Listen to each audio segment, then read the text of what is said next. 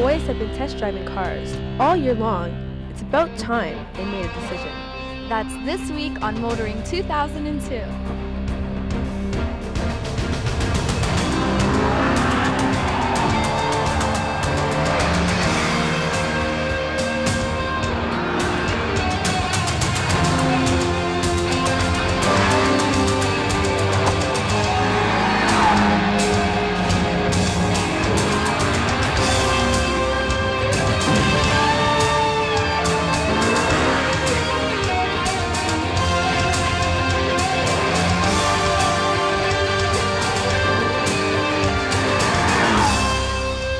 TSN's Motoring 2002 is brought to you by Quaker State Motor Oils, formulated for the vehicles you drive and the way you drive them.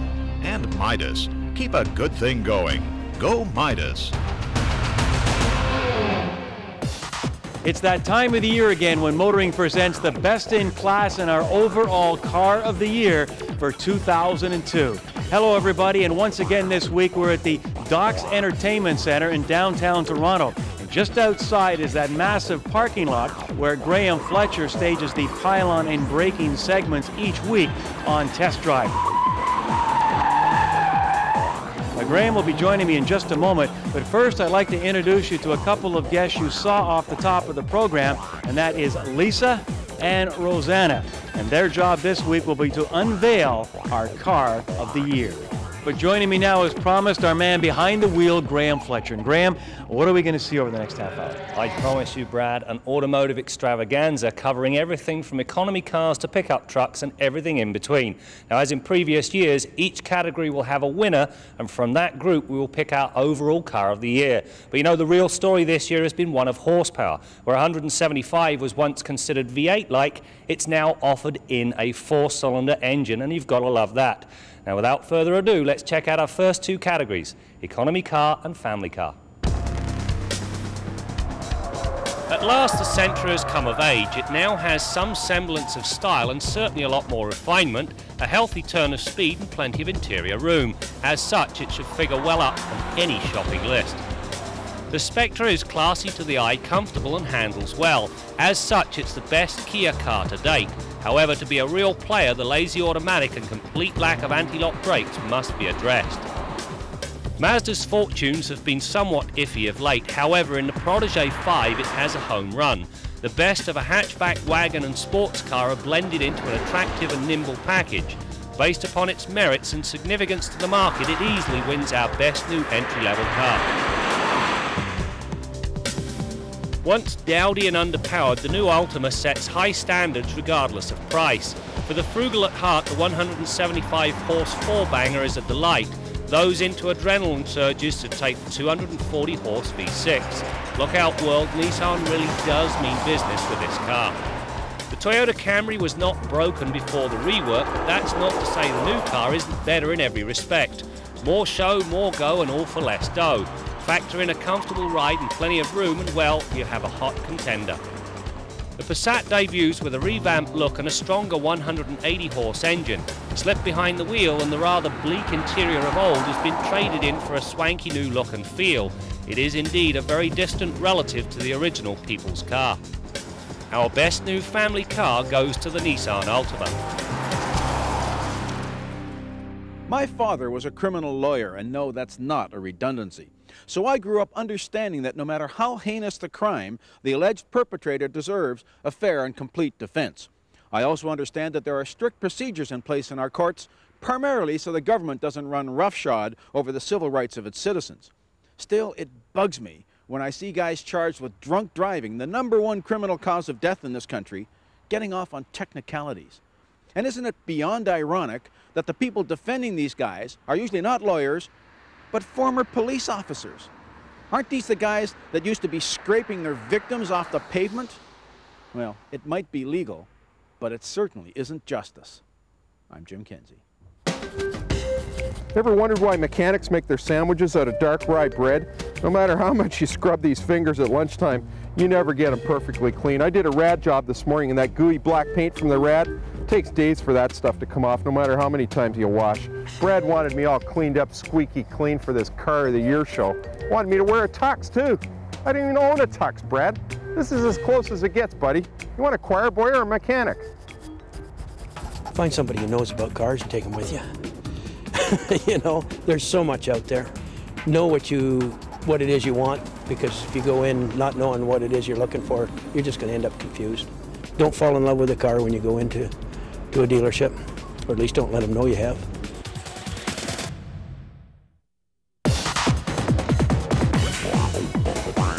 We're back at the Docks Entertainment Center in Toronto and standing by are Lisa and Rosanna, who will soon be unveiling our car of the year for the year 2002. But first, let's join Graeme. With the leading edge of the boomer generation hitting about 54 years of age, the market dynamic is shifting in Canada. Where these were the people that once embraced SUVs and pickup trucks, they've now got their sights set on leather lined opulence. And so this year, we've got three categories that look at the finer things of life entry level luxury, prestige cars, and of course, money no object, upper luxury. The Acura TL Type S is a welcome addition to a lineup loaded with all-stars. While similar to the base car, the Type S is more suited to a Type A personality. With 260 horses under the hood, it is a modern-day Pegasus, as this car really flies. As with the Camry, the rework of the ES300 is a thing of beauty. It is clean and classy to the look, loaded with comfort and convenience. Too bad the engine didn't receive the same treatment as the rest of the car. In the past, Infiniti's middle model struggled to stand out from the crowd. The latest version and its 255 horse engine not only stands out, it leaves most of them well behind. Likewise, slipping behind the wheel reveals a luxurious leather-lined interior. Motoring's luxury car of the year is the Infiniti i35. BMW's 3 Series has long been revered for its ability and agility. Sliding a decent all-wheel drive system under an already nimble chassis adds enormously to the potential. Simply, it adds a sure-footed work ethic to a sporty persona. Volvo's new all-wheel drive S60 builds on last year's winner. The new Haldex all-wheel drive system adds to the balance, shuttling the power around as and when needed. The design really does speak highly of Volvo's reputation for safety. Jaguar lived with but two arrows in its quiver. Then came the S-Type, which double sails. The X-Type is likely to exceed that, bringing a refined interior, decent engine and a very capable all-wheel drive system. In short, it's more than worthy of wearing the Leaper on the hood, and so wins our Prestige Car of the Year. Loaded to the grill with luxury, the reworked LS430 brings a much better motivator in the form of a larger 4.3 litre engine. For those lucky enough to go for a ride, the comfort coddles and the refinement, well, it overwhelms. Once more famous for its outrageous badge and powerful engine, the new Q45 brings more of everything. More luxury, more power, and much better refinement. It also boasts the world's best set of headlights. Easily the best of the bunch when it comes to out-and-out -out performance and handling, the M3 is a true delight to drive. However, the tight rear seating and small trunk conspire to place it a whisker behind the winner of this year's upper luxury sedan, the Lexus LS430. The end of the season isn't only a time for celebration, it's also a time of remembrance. I'm not talking only about September 11th, because in the first NASCAR race of 2001 at Daytona, we lost one of the greats of car racing, Dale Earnhardt. Ironically, he died defending the winning position of his son, who said Dale never had a heart. Now, I got some flack from some so-called sophisticated people in big city Toronto for driving around in the Dale Earnhardt Designer Edition Monte Carlo. But you take this little puppy out to the small towns or the country where the real people live, they know who the real heroes are. Dale, we're going to miss you. I'm Jim Kenzie. Our Midas tip of the week concerns the use of winter tires. If your front-wheel drive or all-wheel drive vehicle has skinny all-season tires, you can have pretty good performance in the snow. But when you get heavy, wet packing snow like we had yesterday, even those vehicles can have a hard time without four winter tires. And believe me, four winter tires is the route to go if your vehicle has large tires, high performance tires, or you want to have that extra margin of safety in the snow four winter tires is well worth it. And just like any other set of tires, if you look after them, they'll give you good performance for many seasons. If you buy a good set of winter tires, make sure you keep them properly inflated, rotate them from one season to the next to even up the wear and keep your vehicle in proper wheel alignment and you'll get good life out of that set of tires. And if they save you one collision with a curb or another vehicle during that lifespan of the set of tires, they will have more than paid for themselves. That's your Midas tip of the week. The newest member of the C-Class range blends a sporting acumen with the advantages of a hatchback design. It's also affordable, attractive and boasts one of the more innovative sunroofs offered. With 160 horsepower and a very balanced set of road manners, the Acura RSX is a worthy successor to the Integra. The bottom line says this is a real driver's car, flat in fast corners and quick in a straight line. Subaru's WRX is the class of the sports car brigade. Laying 220 horsepower to the tarmac through a sophisticated all-wheel drive system brings a car that goes like the clappers and handles like the Dickens. In short, our best new sports car. Powerful panache is the best description of the SC430. It brings a sultry look, an abundant supply of power and a hardtop convertible. It will take you through winter in as much comfort as it rides out the summer months. Once the 120 pound weakling, the Mercedes-Benz SLK 32 is now the car that's doing the kicking. 349 horsepower and something barely bigger than an overgrown roller skate equates to a ride of a lifetime. With retro becoming a bigger part of the automotive landscape, the latest Thunderbird is a thing of beauty. Power, comfort, a tight chassis and a look that will be mistaken for nothing else on the road leads the Bird's long list of desirable traits. However, our best new convertible goes to the Mercedes-Benz SLK 32. Now to the scoreboard for a rundown on the 1992. I forgot what the car was. This new 3 litre sequentially multi-port fueling. Sorry. Which of our nominees will be crowned Car of the Year for 2002? We'll find out soon, so stay with us as Motoring's Car of the Year special continues.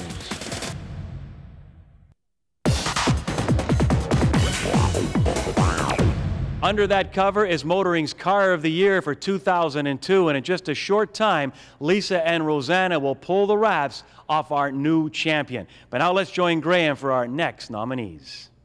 Our next three categories all deal with versatility. First up, we've got Best New Station Wagon, followed by the fastest growing segment in Canada, and that's compact SUV. Lastly, we have Intermediate Sports Utility Vehicle. The Passat wagon is at last a class act. As well as combining versatility with a sporty package, it brings a decent interior, one that's far more inviting than before. As with its sedan sibling, the WRX wagon blends copious amounts of go with a decent interior and the versatility of a small wagon. For several years, Mercedes craved a wagon. It has arrived and was worth the wait. The 3.2 litre engine is smooth, the interior comfortable, and the cargo space voluminous.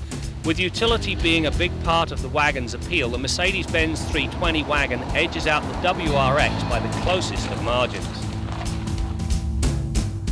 With the previous CRV, Honda heard a couple of things repeatedly. It lacked power and could do with more room. The latest version addresses both, upping the power and adding to the interior size.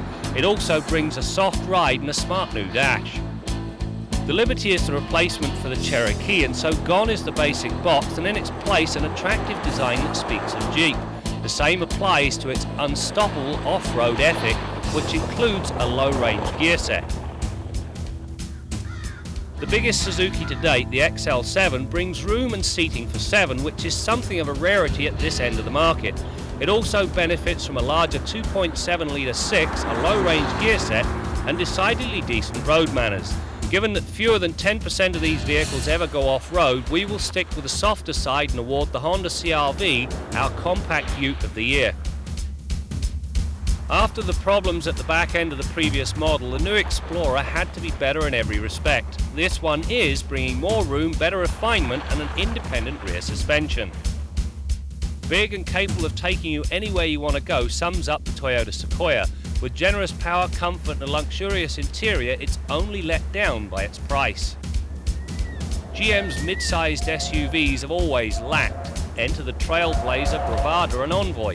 With the best six offered in a truck, a compliant ride and plenty of room, this trio has a winning work ethic, picking up our best new intermediate SUV of the year. This week we're going to do the switcheroo on you. Bill Gardner's going to do the rant, and I'm going to give you some tips. All right? Here are my tips. Don't tug on Superman's cape. Don't spit in the wind. Don't pull the mask off that old Lone Ranger. And when it comes to looking after your car, don't mess around with Bill. You know, Jim, there's never a day goes by that somebody doesn't recognize me from the show and want to talk cars or trucks, motorcycles, boats, whatever their machinery is. And you know how many times somebody describes to me a piece of machinery that I happen to know very well, and they're telling me they had a lot of trouble with it. Just wasn't a very good piece of equipment. And it's all I can do to bite down on my tongue and not give them heck for abusing it or neglecting it because that's usually the reason why they've had so much trouble with it. Perfect example. How many times have you given somebody a ride in your vehicle, had them get out of the vehicle and slam the door with a vengeance? Just makes your makes you cringe to feel the abuse they give the car when a simple push will close the door. And that's indicative of how rough they treat all their equipment. Then they wonder why it doesn't stand up. On the other side of the coin, how many times have you talked to somebody that's got a kind of marginal or cheap car and said they had great service out of it? Reason they had great service out of it? They didn't use it abusively and they looked after it. Even junk can give you good service. I want to give you a perfect example. This is my loaner car from the shop. And when it comes back, I can't believe how many times the right front tire is all crunched into the curb and the wheel disc is being crunched. The other day I saw concrete dust on it, some new scrape marks on it. Somebody'd run it into the curb real hard. We put the best of tires on it, new front end parts and do the alignment. And this is how people treat it. And they treat their own cars the same way. Rough, rough, rough treatment. And this catches up to you after a while and it costs you money. Now under the hood of the car, it's incredible how many times we have a a vehicle come in that's, that the oil is right down off the dipstick and maybe being 10 or 12,000 kilometers since it was last changed. It's filthy dirty. It's got cheap filters in it and other cheap replacement parts under the hood. And people are wondering why the car doesn't last them. There's no excuse for the engine oil to be low on, on a modern car. There's no reason why you can't check it and top it up easily, get it changed when you need to, and keep records on when you do all this stuff so you stay on top of it because it's too easy to forget the last time you serviced your car and just let it go. If you keep records, you'll have no problem. I'll tell you, whatever car you're driving is your car of the year, and if you look after it, you're going to get good service out of it nine times out of 10. Till next week, I'm Bill Gardner for Motoring 2002. Latest Ram is one big truck. While you don't need a step ladder to get in, when fully duded up, you almost sit eyeball to eyeball with the driver behind the wheel of that tractor trailer. The Swiss Army knife was never purchased for its looks, nor will the Avalanche. Looking more like an overgrown Tonka toy, the flexibility is undeniable and opens up a new chapter in the evolution of the pickup truck. As such, it wins our pickup of the year. Kia's turnaround is more spectacular than that of its parent company, Hyundai. Sedona marries all the items needed in a minivan, bringing a powerful engine and seating for seven, along with a price that's thousands less than the competition. While the changes to the O2 Odyssey are minimal, it's enough to make it a better vehicle. Honda's legendary refinement is there for all to see, the drivetrain is sweet, and that fold-away seat still ranks as one of the better ideas on the market. While not a true minivan, the Rendezvous will accommodate seven in comfort. It also brings some neat interior amenities and just enough power. Sadly though, it's just too difficult to get beyond the look, and so the minivan of the year goes to the Kia Sedona. For years, I've been looking for a hand signal that we as drivers can use to ask forgiveness of other drivers when we've made a mistake. I mean, there's no shortage of hand signals that we use when they make a mistake. Well, I think I've found it. I was on the highway the other day, and a gentleman who was obviously in the process of missing his exit was doing about a four-lane banzai lane change. He didn't exactly cut me off, but it was fairly close, and he saw me at the last minute and wrenched his car back in his lane and obviously looked pretty worried. I just slowed down, waved him in front of me, and as he made eye contact, he whacked himself in the head, sort of to apologize. That was pretty funny. So I smiled, he smiled, he whacked himself again, and we all carried on our way. And I thought, you know, Everybody should do that. Next time you make a mistake, you do something stupid on the road, Don't just drive along like as if nothing happened. Don't get mad at the other guy like it was his fault. Do what he'd do if he had half a chance. Give yourself a whack upside the head. He'll probably forgive you too. I'm Jim Kenzie. When we return, the moment we have all waited for, when Lisa and Rosanna will unveil our Car of the Year for 2002. Stay with us as our Car of the Year special continues on TSN. I would uh, like to see people look at the fuel consumption, the price of car, and you know, buy the car you need, not only the, not the, the car you want or you dream about, just the car you need, and you will save a lot of money. You can spend uh, on other other things, more important things, perhaps.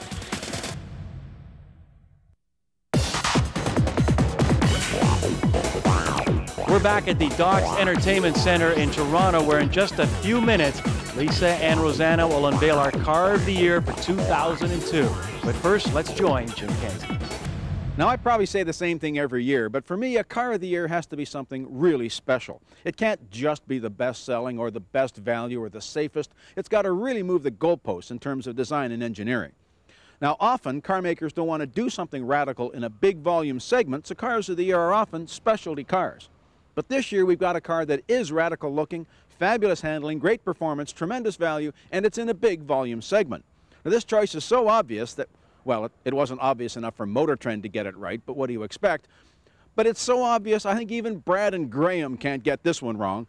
The 2002 Car of the Year, no question, the Nissan Altima. You know, Jim, this year's Car of the Year was the closest race to date, requiring a photo finish to pick the winner. On the one hand, you've got the Mazda Protege 5. It truly is a wonderful little car and certainly a harbinger of things to come. However, it was pipped at the post. I'll now ask Lisa and Rosanna to reveal Motoring 2002's Car of the Year. Ladies and gentlemen, I give you the Nissan Altima. The new Nissan Altima has significance to both manufacturer and market alike. Indeed, without this year's Car of the Year, the fortunes of Nissan, well, they might look rather bleak. Well, we're out of time, but already we're planning next year's Car of the Year program, and we'd like to involve you, our viewers, and have you make your Car of the Year selections via our webpage. We'll tell you more about that as the year continues. And speaking of years, this is our 16th season on TSN. Thank you for that. That's it for now. We'll see you next time out as we continue to bring you more stories about cars and the people who drive them. TSN's Motoring 2002 has been brought to you by Quaker State Motor Oils, formulated for the vehicles you drive and the way you drive them. And Midas. Keep a good thing going. Go Midas.